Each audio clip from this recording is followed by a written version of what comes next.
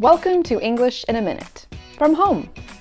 The wind blows many things papers, leaves, hair, but the wind can blow other things too.